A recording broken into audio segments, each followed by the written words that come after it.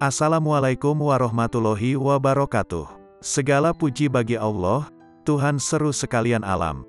Kali ini akan dilanjutkan membaca kitab Jami Karamat Al-Aulia. Karamah dan kisah karamah wali Allah, perbedaan antara karamah dan istidraj, karangan Syekh Yusuf bin Ismail An-Nabhani. Sebelum keuraiannya, jika berkenan, silakan subscribe channel Rio Fulana, like, komen dan share, serta aktifkan lonceng untuk mendapatkan notifikasi kisah terbaru dari channel Rio Fulana. Terima kasih. Perbedaan antara karamah dan istidraj.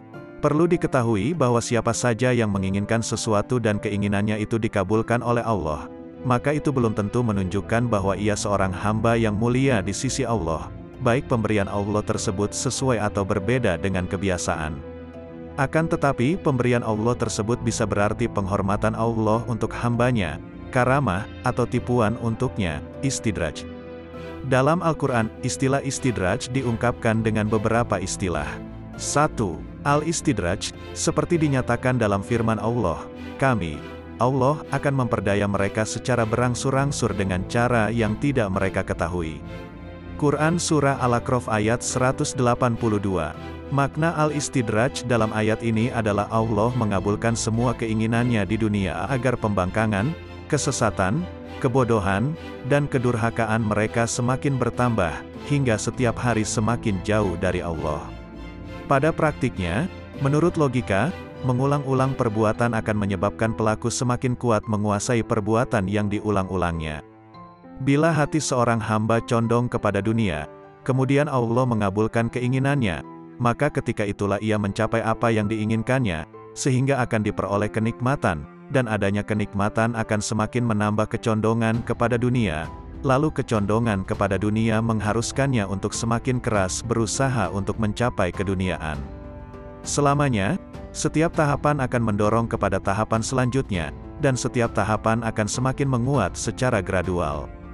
Sudah dimaklumi bahwa kesibukan orang terhadap kenikmatan yang menyenangkan ini akan menghalangi diri dari makam-makam mukasyafah, tingkat ketersingkapan cahaya, dan derajat marifat, dan sudah tentu akan semakin menjauhkan diri dari Allah, setahap demi setahap hingga mencapai puncak kecondongannya kepada dunia. Inilah yang dinamakan istidraj. 2. Al-Makar, seperti dinyatakan dalam firman Allah, maka apakah mereka merasa aman dari azab Allah yang tidak terduga-duga? Tiada yang merasa aman dari azab Allah kecuali orang-orang yang merugi. Quran Surah Al-Aqraf ayat 99 Orang-orang kafir itu membuat tipu daya, dan Allah membalas tipu daya mereka. Dan Allah sebaik-baik pembalas tipu daya. Quran Surah Ali Imran ayat 54 mereka pun merencanakan makar dengan sungguh-sungguh dan kami merencanakan makar pula, sedang mereka tidak menyadari. Quran Surah Al-Naml ayat 50. 3. Al-Qaid, tipu daya, seperti dinyatakan dalam firman Allah, sesungguhnya orang-orang munafik itu menipu Allah, dan Allah akan membalas tipuan mereka. Quran Surah An-Nisa, ayat 142. 4. Al-Imla, memberi tangguh, sebagaimana dinyatakan dalam firman Allah, dan janganlah sekali-kali orang-orang kafir itu menyangka bahwa masa penangguhan yang kami berikan kepada mereka adalah lebih baik bagi mereka. Sesungguhnya kami memberi tangguh kepada mereka hanyalah supaya dosa mereka bertambah. Quran Surah Ali Imran ayat 178 5. Al-Ihlak, siksaan, sebagaimana dinyatakan dalam firman Allah, sehingga apabila mereka bergembira dengan apa yang telah diberikan kepada mereka, kami siksa mereka dengan sekonyong-konyong. Quran Surah Al-An'am ayat 44 Dan dalam firman Allah tentang Fir'aun, dan berlaku angkuhlah Fir'aun dan bala tentaranya di bumi tanpa alasan yang benar dan mereka menyangka bahwa mereka tidak akan dikembalikan kepada kami. Maka kami hukum Fir'aun dan bala tentaranya, lalu kami tenggelamkan mereka ke dalam lautan, Quran Surah Al-Kohas ayat 39-40. Ayat-ayat di atas menjelaskan bahwa tercapainya keinginan seorang hamba tidak menunjukkan kesempurnaan derajat dan keberuntungan mendapat kebaikan. Perbedaan antara karamah dan istidraj adalah bahwa pemilik karamah tidak begitu senang dengan karamah yang dimilikinya, bahkan karamah itu membuatnya semakin takut kepada Allah. Kewaspadaannya terhadap siksa Allah semakin kuat karena ia takut kalau-kalau hal tersebut merupakan istidraj. Sedangkan pemilik istidraj sangat senang dengan hal-hal luar biasa yang ada pada dirinya dan mengira bahwa karamah itu ada pada dirinya karena ia berhak memilikinya. Karena itu ia memandang rendah orang lain, membanggakan diri sendiri, dan merasa aman dari tipu daya dan siksaan Allah, dan tidak takut kepada siksa Allah. Jika sikap seperti ini muncul pada diri seorang pemilik karamah, berarti yang dimilikinya bukanlah karamah tetapi istidraj. Orang-orang yang berpegang pada kebenaran, Al-Muhakikun, mengatakan bahwa ada kesepakatan bahwa keterputusan dari hadirat Allah sebagian besar terjadi dalam kondisi memiliki karamah. Tidak diragukan lagi, golongan Al-Muhakikun takut kepada karamah, seperti rasa takut mereka kepada berbagai macam cobaan. Rasa senang kepada karamah dapat memutuskan jalan kepada Allah. Hal ini dapat dijelaskan dengan beberapa hujah, Hujah pertama, ketertipuan ini terjadi, ketika seseorang yakin bahwa dirinya berhak memperoleh karamah dan sekiranya ia bukanlah orang yang berhak mendapatkannya maka tidak akan muncul rasa bangga itu bahkan rasa bangganya itu muncul hanya karena karamah wali. Keutamaan karamahnya lebih besar daripada kebahagiaan karena karamah itu sendiri. Kebahagiaan dengan adanya karamah itu melebihi kebahagiaan pada dirinya sendiri. Jelas bahwa kebahagiaan karena adanya karamah tidak akan muncul kecuali dengan adanya keyakinan bahwa dirinya lah pemilik karamah itu dan yang berhak mendapatkannya. Ini adalah kebodohan yang nyata karena para malaikat saja berkata, tidak ada yang kami ketahui kecuali dari apa yang engkau ajarkan kepada kami. Quran Surah Al-Baqarah ayat 32 Dan Allah berfirman, dan mereka tidak menghormati Allah dengan penghormatan yang semestinya, Quran Surah Al-An'am ayat 91. Ada dalil meyakinkan yang menyatakan bahwa makhluk tidak berhak mendakwakan kebenaran. Maka bagaimana mungkin ada orang mengaku berhak mempunyai karamah? Hujah kedua, karamah adalah sesuatu yang senantiasa tergantung pada Allah subhanahu wa ta'ala. Rasa senang karena memiliki karamah adalah senang kepada sesuatu yang bukan haknya. Rasa senang kepada sesuatu yang bukan haknya merupakan penghalang kebenaran, dan orang yang terhalang dari kebenaran bagaimana mungkin layak untuk senang dan bergembira. Hujah ketiga, orang yang yakin bahwa dirinya berhak memiliki karamah karena merasa amal perbuatannya memiliki pengaruh besar dalam dirinya dan merasa bahwa perbuatannya bernilai atau berpengaruh pada dirinya adalah orang yang bodoh. Kalau saja ia mengenal Tuhan, ia pasti menyadari semua ketaatan makhluk di sisi Allah itu hanya sedikit.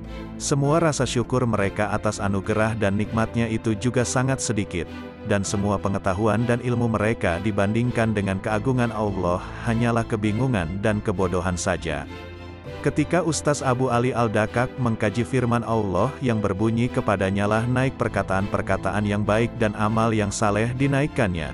Quran Surah Fatir ayat 10, di majelisnya ia berkata, pertanda bahwa amalmu dinaikkan oleh Allah adalah jika kamu tidak mengingat-ingatnya. Jika kamu mengingat-ingat amalmu, berarti amalmu ditolak. Sebaliknya bila kamu tidak mengingat-ingatnya, berarti amalmu diterima dan dinaikkan oleh Allah subhanahu wa ta'ala. Hujah keempat, pemilik karamah merasa bahwa karamah yang dimilikinya justru untuk memperlihatkan kerendahan hati dan ketundukan di hadapan Allah. Jika ia merasa bangga, tinggi hati, dan sombong disebabkan karamah yang dimilikinya, maka batallah segala sesuatu yang menyebabkannya menerima karamah. Sikap seperti inilah yang membuat pemilik karamah tertolak. Oleh karena itu, setiap kali Rasulullah Shallallahu Alaihi Wasallam menceritakan tentang manakib, keistimewaan, dan keutamaan dirinya, beliau selalu mengakhirinya dengan kalimat, tiada kebanggaan, Maksudnya, aku tidak bangga dengan karamah yang kumiliki ini. Yang aku banggakan adalah zat yang memberi karamah. Hujah kelima, kemunculan hal-hal luar biasa pada iblis dan Balam begitu menakjubkan. Tetapi kemudian Allah berfirman kepada iblis, ia termasuk golongan kafir, kepada Balam, ia seperti anjing, dan kepada ulama Bani Israel, perumpamaan orang-orang yang memegang Taurat, tetapi tidak mengamalkannya adalah seperti keledai yang membawa kitab-kitab yang tebal. Quran Surah Al-Jumu'ah ayat 5, juga firmannya kepada Bani Israel, orang-orang yang telah diberi Alkitab tidak berselisih, kecuali setelah datang ilmu kepada mereka, di antara mereka kemudian ada yang membangkang. Quran Surah Ali Imran ayat 19 Jadi jelaslah bahwa kegelapan dan kesesatan yang menimpa mereka disebabkan karena rasa bangga dengan ilmu dan kezuhudan yang diberikan kepada mereka. Hujah keenam, karama bukanlah kemuliaan, dan segala sesuatu yang tidak mulia adalah kehinaan. Barang siapa memuliakan kehinaan, berarti ia hina. Karena itu Nabi Ibrahim alaihi salam berkata, Adapun bagimu, itu tidak berarti apa-apa. Merasa cukup dengan kefakiran adalah fakir, takwa dengan kelemahan adalah lemah, merasa sempurna dengan kekurangan adalah kurang, bahagia dengan semua hal yang diperkenankan dan menerima seluruh kebenaran adalah sikap ikhlas. Fakir adalah ketika seseorang senang dengan kemuliaan yang menjatuhkan derajatnya. Jika seseorang melihat karamah, sesungguhnya setiap ia melihat keperkasaan niscaya ia melihat sang pemberi keperkasaan, dan setiap ia melihat ciptaan niscaya ia melihat penciptanya. Hujah ketujuh, bangga terhadap diri dan sifat-sifatnya termasuk sifat-sifat iblis dan Fir'aun. Iblis berkata, Aku lebih baik daripada Adam. Quran Surah Al-Aqraf ayat 12, dan Fir'aun berkata, Bukankah kerajaan Mesir ini adalah kepunyaanku? Quran Surah Al-Zukhruf ayat 51. Setiap orang yang mengaku nabi atau Tuhan secara dusta, maka ia tidak memiliki tujuan apa-apa, kecuali untuk menghias diri, memperkuat ketamakan dan kebanggaan diri. Oleh karena itu, Rasulullah Shallallahu Alaihi Wasallam bersabda, ada tiga hal yang merusak, yang terakhir adalah orang yang membanggakan diri. Hujah ke-8, Allah berfirman, Berpegang teguhlah kepada apa yang aku berikan kepadamu dan hendaklah kamu termasuk orang-orang yang bersyukur. Quran Surah Al-Aqraf ayat 144 dan sembahlah Tuhanmu sampai datang kepadamu apa yang diyakini, ajal.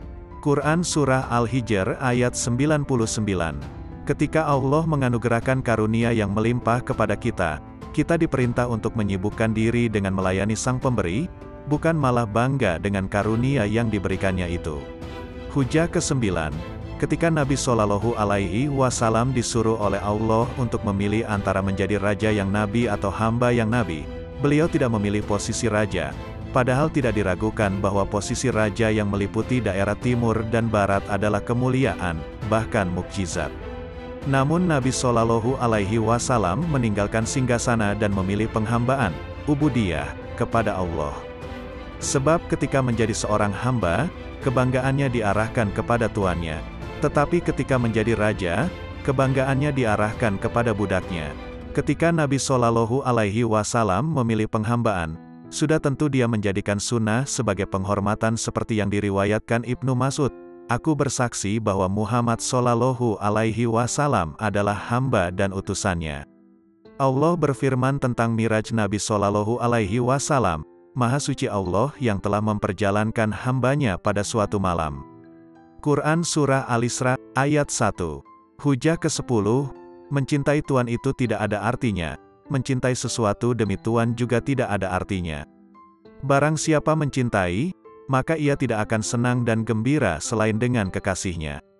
Kesenangan dan kegembiraan dengan selain Allah menunjukkan bahwa ia tidak mencintai tuannya, tetapi ia hanya mencintai bagian dari nafsunya sendiri dan bagian dari nafsu hanya dituntut oleh nafsu.